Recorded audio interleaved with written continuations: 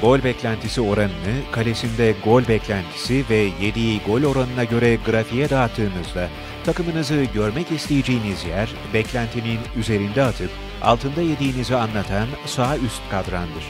Olmak istemeyeceğiniz yerse beklentinin altında atıp üstünde yediğiniz sol alt kadrandır. Trabzonspor'un puan tablosundaki liderliği, Konyaspor'un ikinciliği biraz da burada somutlaşıyor. Beklentinin yeterince üzerinde atan ama üzerinde de yiyen Beşiktaş sağ alt kadranda tek başına. En kalabalık yer beklentinin altında atıp altında yiyenler yani sol üst kadran. Fenerbahçe de burada. Galatasaray ise beklentinin az da olsa üstünde yediği ve rakip kalede beklentinin ciddi şekilde altında olduğu için en olmak istemeyeceği yerdi. Beşiktaş'ın takım savunmasını iyileştirip yukarıya, Fenerbahçe'nin daha iyi bitirmenin yolunu bulup sağa, Galatasaray'ın ise hem Beşiktaş'ın hem Fenerbahçe'nin yapması gerekeni birlikte yapıp hem yukarıya hem de sağa doğru gitmesi gerekiyor.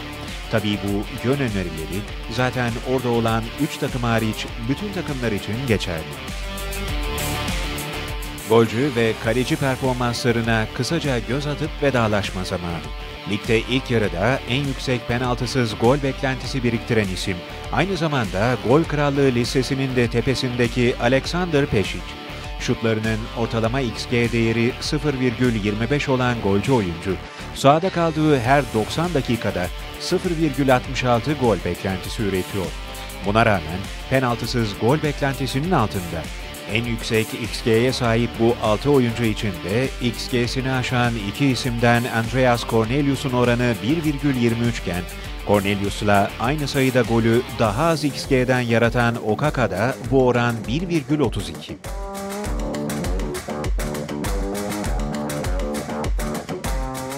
Peş için XG haritasına göz atalım.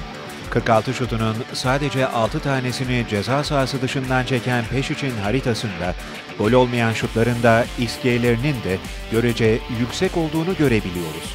Tam görmek isteyeceğiniz tarzda bir santrafor şut haritası.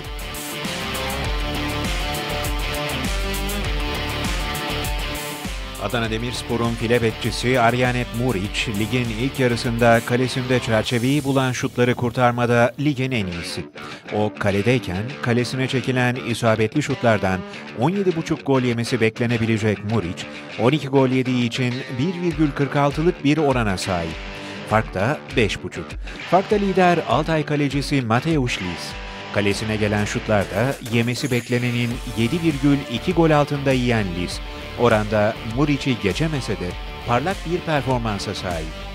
Trabzonspor'un zirve yolculuğunda payı hep ön planda tutulan Uğurcan'da listede yer alsa da önceki maddelerde değindiğimiz gibi Trabzonspor kalesine kaliteli şut çektirmediği için farkta 2,9, oranda ise 1,26'lık istatistiklere sahip.